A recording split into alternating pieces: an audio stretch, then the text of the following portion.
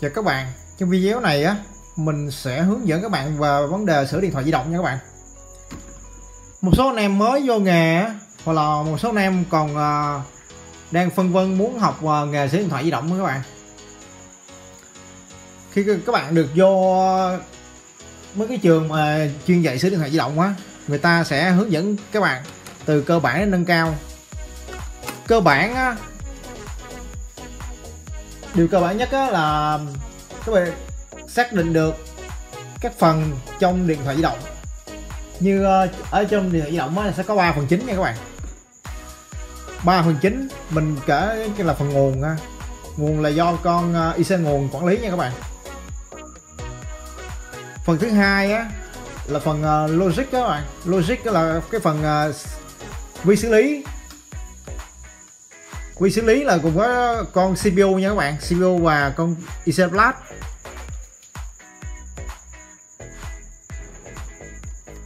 Như đây nè các bạn. Đây đây con phần phần phần logic các bạn. Là phần uh, vi xử lý nè. Con này con à, uh, CPU con này Isolat Isolat này nó có chứa bộ nhớ nha các bạn. Chứa ROM RAM trong đây nè. Chương trình đã start là bút bút khi mà các bạn bấm bấm bấm nút power on đó là nó sẽ bút lên bật ờ, khởi động nguồn các bạn. Là mọi chương trình ờ, nó nằm sẵn trong con ờ, con IC Plus này còn phần thứ ba là cái phần phần sóng nha các bạn, phần RF á.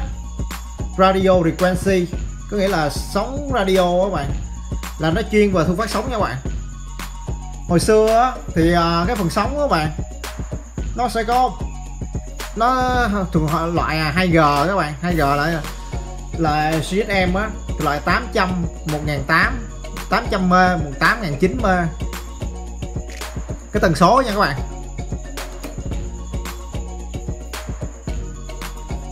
Các bạn muốn sửa điện thoại á trước trước hết đó là các bạn phải biết được cái linh kiện nào và từng phần từng phần. Từ đó các bạn sửa rồi các bạn cô lập. Cô lập ví dụ nó hư phần nguồn đi hay nó bị chạm uh, nguồn b cộng đi là các bạn biết được à, các bạn cần phải kiểm tra thứ nhất là cái con IC nguồn. Hoặc là con IC nguồn đó nó nằm nó có thể nằm rời hoặc là nó tích hợp trong con CPU thì các bạn có thể kiểm tra nha các bạn. Còn các bạn mà không có các bạn muốn chính xác hơn nữa tại vì mỗi cái đời máy mỗi cái model mainboard nó sẽ có một cái SIMA. Ví dụ như à, các bạn muốn tìm một cái co như à, ví dụ các bạn muốn tìm như con à, iPhone 4 đi. 4S gì đó. Các bạn lên search Sima. Hoặc là mấy cái máy như à, Lumia nè các bạn. Nokia mấy bất kỳ máy nào vậy. Nó sẽ có à, Lumia à, nó có Sima các bạn. Có nghĩa là sơ đồ nguyên lý á. Sơ đồ mạch sơ đồ nguyên lý luôn. Nó sẽ vẽ một cách chi tiết cho các bạn. Để các bạn à, ai mà có nghiên cứu á, nghiên cứu vào ban rồi sửa chữa vậy á các bạn có thể vào tìm trong ấy nha giờ tìm trong trên trên sơ đồ á trên sơ đồ có có sẵn nha các bạn. Cái thời xưa các bạn lúc vào tầm ờ, từ năm ờ, 98 2000 gì đó mà khi mà ờ, mình uh, điện thoại á nó không có, có như hiện không có như bây giờ nha các bạn. À, cái gì bây giờ là người ta chế tạo tool nha các bạn tool rất nhiều tool rồi mấy cái Sima là mấy cái ban đó người ta sẽ post lên cho cho cái trên diễn đàn của sư điện thoại di động các bạn là các bạn có dễ dễ dàng tìm hoặc là sửa một cái ban điện thoại có kỳ ha. Chứ còn uh, thời của mình nó thì uh, sửa rất là mệt nha các bạn. Nhiều khi thiếu Sima vì Sima nó sẽ sub ờ, support cho hãng các bạn. Mấy mấy cái bóc hay cái gì á đều support cho hãng là nhiều nha. Nên là mình ví dụ mình có người quen á mình mới uh, có được mấy cái đó thôi hoặc phải đọc phải ờ, phải lên mạng các bạn tìm ờ, các ờ, script manual rồi mới cái sơ đồ mạch trên trên mạng các bạn. Toàn tiếng Anh không rồi dịch ra mà mà tìm đó các bạn. Các bạn bây giờ hiện tại á các bạn các bạn mà muốn học số thoại á, thì người ta sẽ dạy các bạn về cơ bản á. Thường á là ta đa phần người ta đưa đưa cho bạn mấy con máy mới mới được cổ nha các bạn cũ á. Đây nè mấy máy Nokia đa phần là Nokia nha các bạn. Mấy máy như DTC3 DTC3 là mấy máy trắng trắng đen nữa các bạn. DTC3 DTC4 DTC4 á, là mấy máy um, màn hình màu nha các bạn. Tùy cái đồ Nokia nó thông dụng nhất á mà nó lúc mấy đời mấy đời cổ này các bạn. Nó chi sẽ chi tiết nhất cho các bạn. Tại vì uh, hiện nay hiện, hiện nay á tất cả các cái linh kiện các bạn. Nó sẽ tích hợp nó sẽ dồn hết bờ con nên các bạn à, hơi khó khăn ha. Không hiểu được nguyên lý ha. Chứ còn à, các bạn mà muốn à, thực sự chi tiết á và cái linh kiện có nó nhiều vụ gì chức năng gì á các bạn nên tìm những cái máy cổ nha các bạn. Máy cũ á như máy DTC3 nè DTC4 nè. Của dòng Nokia thì Nokia đó là phổ thông quá nha các bạn. Ở đây ờ, mình sẽ thử mở cái con ờ, Nokia 3210 ra nha các bạn. Rồi mình sẽ hướng dẫn các bạn cách nhận nhận diện linh kiện ha. Bút các bạn dùng ờ, cái bút ốc tờ 6 nha các bạn. Bút tờ 6 ha. Này bút tờ 5 lấy bút tờ 6 nha các bạn. Nokia có hai loại nha các bạn. Ốc ốc ốc nhỏ, ốc lớn.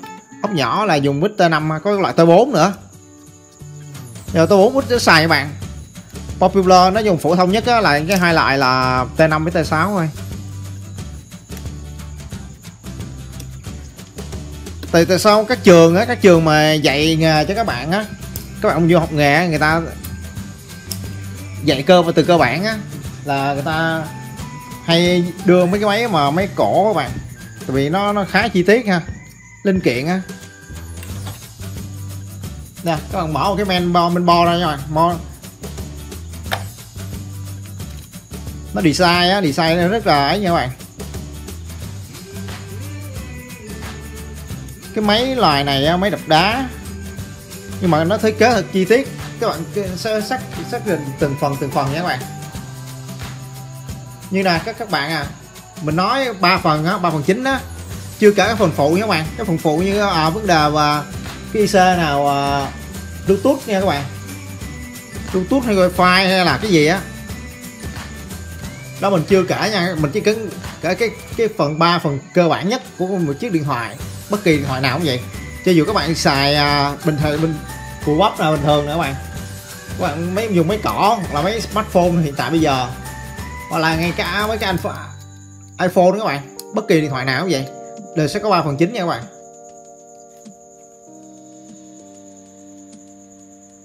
Đây cái phần cơ bản các bạn mình sẽ lấy một cái cái ban bo của 3210 nha. Cái phần thứ nhất á quan trọng nhất là cái phần nguồn. Bất kỳ cái điện thoại này cũng cần có, có nguồn nha các bạn. Đây là con IC nguồn nha các bạn. Các bạn nhìn thấy tụ nè các bạn. Đây nè thấy vàng tụ của nó không? Thường á IC à, nguồn á nó sẽ là PM á các bạn là mấy con cái con mà quản lý nguồn á UEM các bạn là con IC quản lý nguồn nha quản lý nguồn toàn bộ của cái chiếc điện thoại này. IC nguồn á mà nó hoạt động các bạn. Khi mà nó hoạt động nó sẽ cấp cái nguồn điện áp cho CPU nào lát nào như toàn bộ cái mạch từ trung tầng à, trung tầng công suất hay là gì các bạn. Ở đây á IC nguồn này nó hoạt động á nó sẽ có cái máy ờ, đời cũ của bạn nó sẽ có cái xung nhịp là 3 32 kg nha bạn.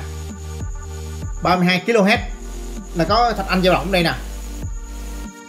Cái dao động này IC cái thạch anh này sẽ tay dao động tạo xung chuẩn xung chuẩn. Cho cái con IC nguồn này hoạt động các bạn. Nó mà cái cái thạch anh này mà dao động sai á, là cái này cũng sai luôn nha các bạn. Nó hoạt động luôn nha. Nó không mở nguồn lên được nha các bạn. IC nguồn có đi kèm á, là có còn cái IC sạc nha các bạn. IC sạc. Là mình nói chung cái phần nguồn á, phần nguồn là gồm có IC nguồn IC sạc. Đó là phần thứ nhất. Cái phần thứ hai á, là phần logic. Logic á, là cái phần CPU và IC y IC bộ nhớ nha các bạn. Đây nè, các bạn nhìn cái tất cả cái con con lớn nhất. Cái phần trong phần phần logic á. Phần logic cái con lớn nhất nhìn các bạn nhìn trên đây là cái con lớn nhất là vuông vuông á. Thường CPU là hình vuông nha các bạn. Đây nè đây là cái con CPU nè các bạn. Nó sẽ điều khiển à, nó sẽ điều khiển hoạt động của của vấn đề hiển thị nha các bạn. Loa rung chuông ờ, hay uh, kết nối hay các bạn thao tác phím đứa bóng á hoặc là phần hiển thị cho bạn. Rồi nó sẽ ờ, nó khởi động mà nó khởi động nguồn á là cũng nhờ CPU với lát này nha các bạn. Một khi á, CPU nó hoạt động mà muốn CPU hoạt động ở ngoài cái nguồn cấp nguồn cho nó là các bạn phải cần có một cái xung nhịp. Cái xung nhịp của nó cái máy điện cũ á, bây giờ là nó dùng cái xung nhịp 13 mê nha các bạn. 13 MHz nó lấy từ sao nó lấy từ đâu? Nó lấy từ IC trung tầng. Trung tầng các bạn trung tầng IC trung tầng là nó sẽ có thiết kế là có một con con thạch anh đây để mình uh, lấy một cái bo bo bo ấy cho các bạn xem. Nó cần một con thạch anh nha các bạn một con thạch anh à, uh, 26 mươi nha các bạn. Đây đây như như cái bao này nha. rồi các bạn xem nè. Đây nó cần một con thật anh nha các bạn. Cái con này là con thật anh 26 26 nha các bạn. Nó cái chia cái xung nhịp xung nhịp ra còn 13mA, 13 MHz cung cấp cho con ờ, CPU này hoạt động. Lần CPU muốn CPU hoạt động ở ngoài cái nguồn cung cấp cho CPU ra là cần phải có một cái xung nhịp nha các bạn. Cái xung ờ, cho CPU nó hoạt động nó mới chạy chạy nha các bạn. Còn không là nó không chạy nha. Rồi CPU á, phần logic các bạn. CPU này nó sẽ giao tiếp với cái con mấy con là flash ROM nữa các bạn? Con ROM con RAM giống như y như cái máy vi tính nha các bạn. Máy tính á à, nó cũng trong con trong CPU cung rom ram đồ nhớ chỉ đọc rồi nhớ truy cập ngẫu nhiên đó, truy xuất ngẫu nhiên các bạn. Đây là phần logic nha các bạn. Là cái phần thứ hai. Phần nguồn phần thứ nhất á, là phần nguồn ha. Phần thứ hai là phần logic ha còn phần thứ ba là cái phần sóng nha các bạn phần RF á, radio frequency á. Các bạn nhìn nè mấy cái chấu từ chấu anten á mấy cái cái bo mạch đó các bạn. Chấu anten. Đây là những cái chấu anten nào các bạn đây là anten là ngõ ra nào bạn hai chấu anten nè. Anten là anten để phát nha các bạn. Cho từ chấu anten nó đi vô lại đi vô thẳng cái con công suất nha các bạn. Đây là cái con này con công suất nữa các bạn. IC công suất ha. Công suất á, nó có nhiệm vụ gì? Nó sẽ khuếch đại công suất các bạn. Nó khuếch đại nó nó ấy lên. Ví dụ tín hiệu á từ mà từ khi mà chúng ta mà nói chuyện các bạn nói chuyện mà đưa qua CPU á CPU nói chuyện tín hiệu đi để phát mà nghe alo alo các bạn nói chuyện á. Là nó từ tín hiệu đó tín hiệu yếu các bạn. Tín hiệu đó nó đi qua IC trung tầng nha các bạn từ IC trung tầng á nó sẽ trộn với tín hiệu à, sóng mang á. Trộn tín hiệu sóng mang rồi nó sẽ đưa qua à, nó đưa qua IC công suất để phát lên nha các bạn. Tại vì nếu mà đưa từ trung tầng nó phát lên đó thì cái cái năng lượng năng lượng số điện tử các bạn nó yếu lắm nó không bao giờ nói còn cái cái, cái từ trung tầng á tín hiệu mà thoại các bạn mà khi bạn nói á là từ trung tầng nó sẽ đi lên à, đi qua từ nó qua trung tầng nó nó sẽ cài sóng mang các bạn. Hồi hiểu đông na là các bạn cần phải cần cần phải cài theo sóng mang cái sóng mang có năng lượng cao hơn ha. Nó sẽ cài rồi cài sóng mang rồi nó qua con IC ờ, công suất này nè nó sẽ khuếch đại lên các bạn. Khuếch đại nó phát lên uh, mấy chạm mà BTS của nhà mạng đó các bạn.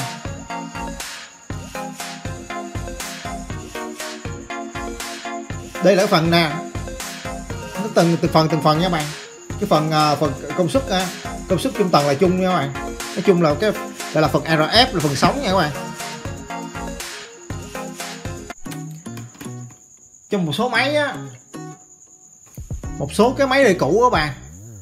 Công suất á, công suất riêng nha các bạn. Nhưng mà cái trung tầng các bạn. Cái trung tầng có ấy là vừa trung tầng phát vừa trung tầng phu các bạn. Mấy mấy đời cổ còn khi mà có trung tầng các bạn. Trung tầng nó đưa lên công suất á. Rồi các bạn muốn muốn uh, cho nó phát lên đó các bạn nó phải đưa qua một cái switch anten nha các bạn. Switch anten nó là cái chuyển mạch đó nó khi mà các bạn thoại á à khi đóng nó đóng ngắt đóng ngắt đóng ngắt.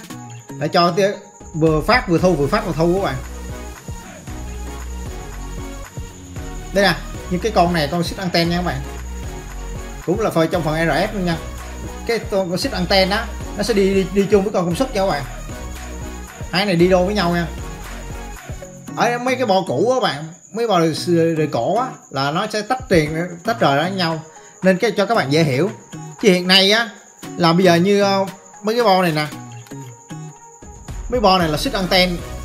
Xích anten với nó nó có nằm chung trong công, công suất nha các bạn. Công suất nó nó sẽ ấy à nó sẽ đảm nhiệm luôn với chơi vai trò chuyển mạch. Nó cắt mở mở xích anten rồi từ xích anten đó nè nó sẽ đưa qua mấy bộ lọc nha các bạn lọc xô á. Lọc để uh, à, lọc cái phần nào phần thu phần nào phần phát á các bạn. Lọc cái phần này á là nó đáp ứng cái tần số nha các bạn cái tần số của mạng em á.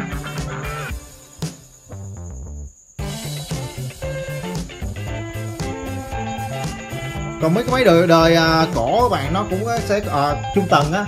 Trung tầng bình thường nó sẽ có một con trung tầng thôi nhưng mà mấy cái máy đựng cổ nó sẽ tách ra hai trung tầng. Trung tầng nào trung tầng phát, trung tầng trung tầng nào thu, là thu phát là riêng nha, mà tách riêng ra nha.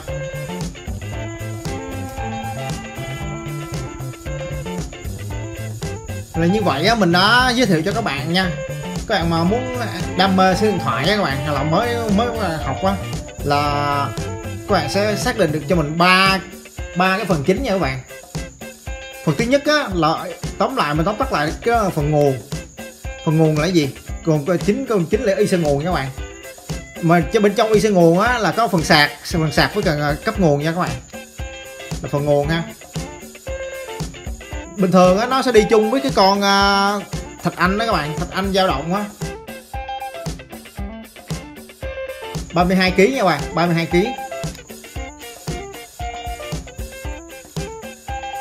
hiện nay các bạn còn cái phần thứ hai phần logic phần logic á, là gồm có CPU là Isolab Lab. Là gồm có ờ, con uh, ROM với RAM các bạn. Nằm bên trong đây. Nó quản lý cái chương trình đã khởi động rồi cái, chương trình hiển thị các bạn.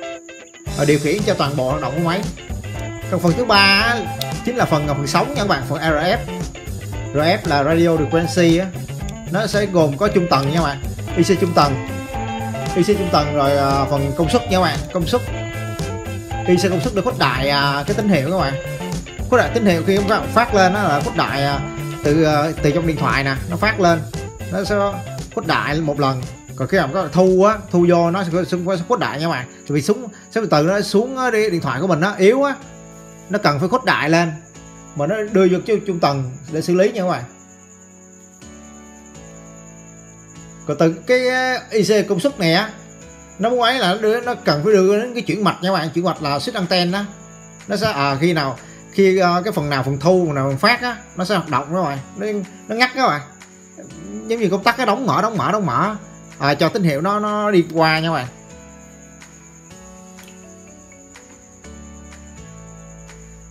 Rồi thêm vào đó là có mấy cái bộ lọc các bạn. Bộ lọc uh, tần số nha. Bộ lọc tín hiệu á.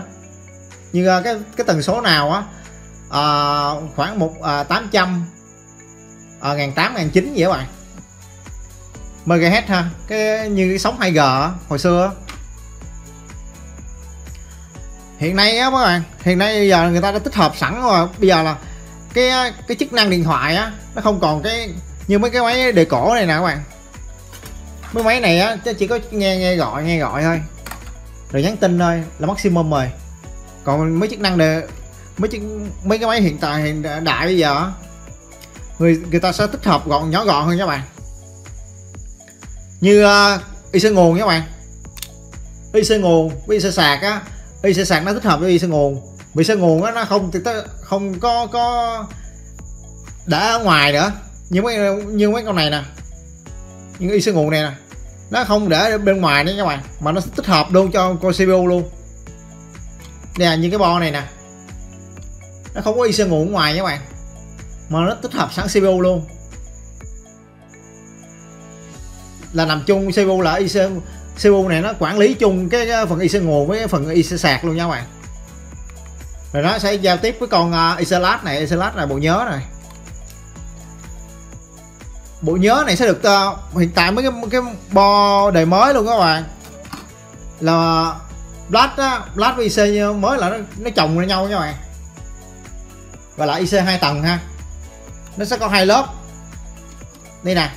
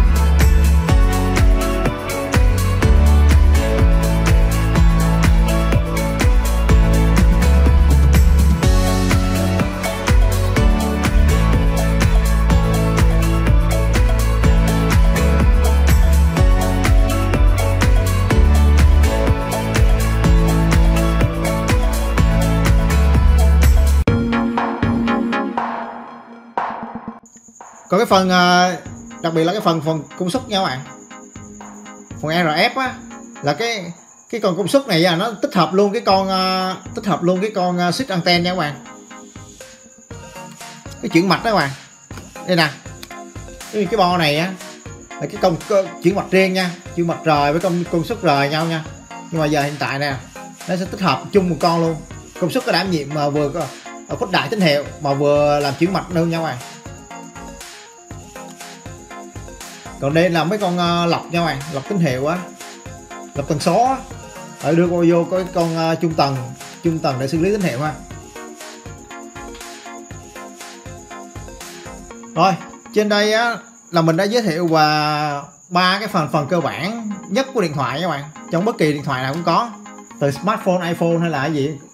Hay uh, máy tính bảng các bạn. Các bạn muốn nghiên cứu đam mê điện thoại các bạn, muốn sửa chữa hay học nghề thì các bạn cứ ờ, tham khảo các tài liệu trên mạng ha. Còn có gì á, các bạn cứ để comment ờ, bên ờ, dưới video á, mình sẽ sắp bọt hỗ trợ cho các bạn ha. Về vấn đề kỹ thuật á, các bạn, sửa chữa hay là software hay gì á, nói chung mình có kiến thức bao nhiêu thì mình sẽ hỗ trợ cho các bạn ha. Rồi, chào ta chào các bạn, hẹn gặp lại các bạn trong video sau nha.